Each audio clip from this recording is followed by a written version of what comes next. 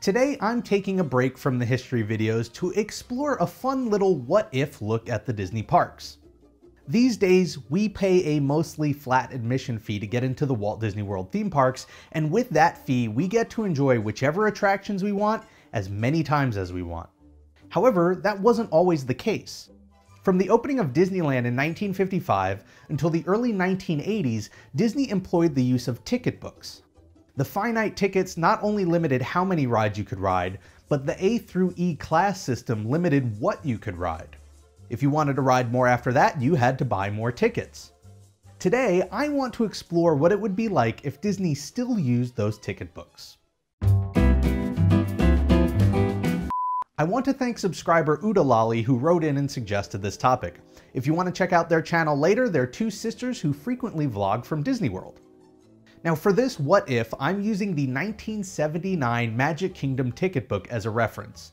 Back then, a 12 ticket adventure book for an adult, which included park admission, cost $10. There were technically still ticket books in 1980 through 1982, but at that point they had started to phase out the A through E class system for just general ride tickets, and where's the fun in that? So instead of burying the point of the video any further, and rather than running through every single ride, here's my quick take on what a modern Magic Kingdom ticket book would look like today. With this list, I tried to maintain the same distribution of rides per ticket type, but tried to take into account the changing tastes of what guests want to seek out on a Disney vacation today. Now, it's important to note that the A through E ticket designation was a bit of a malleable one.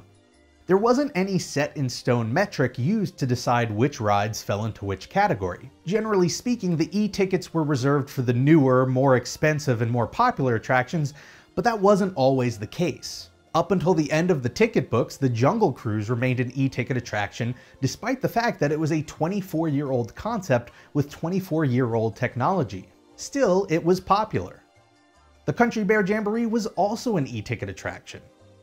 Meanwhile, Mr. Toad's Wild Ride, while enjoyed by many, wasn't new or technologically advanced or especially popular, so it was a C-ticket ride. In short, the really clever part of this ticket system was that every year Disney had the opportunity to move around rides to different letters wherever they saw fit. Because they also had control over how many of each ticket the books contained, they could use the two together in order to try and influence how much guests visited each ride. Of course, it wasn't a tight control. Nothing was stopping guests from simply not using certain tickets or buying extras of others, but it was enough to influence most guests' behavior. And personally, that's really the one perk of the ticket book system that I think we lost with the introduction of general admission. Now, don't get me wrong, I love general admission, and given the option, I would pick it any day of the week. I think it's the natural extension of what these ticket books were originally intended to do, which was take care of the spending upfront so that you would spend the rest of your day enjoying your trip without constantly thinking about your wallet. That said, look at this list again.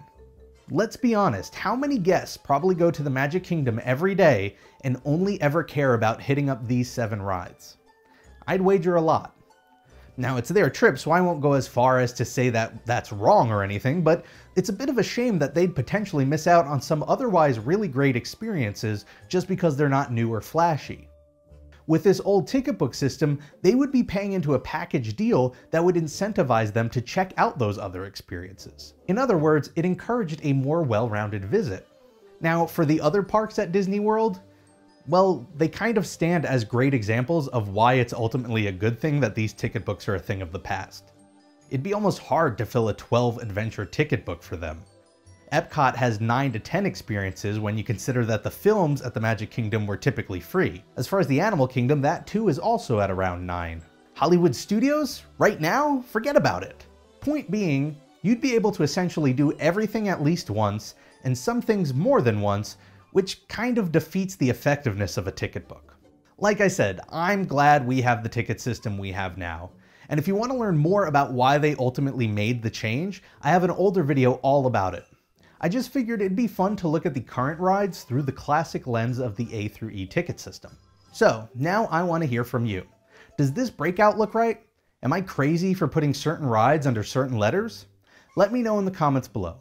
I'd love to see what everyone's own version of this classic ticket book looks like. Thanks for watching, and I'll see you next time.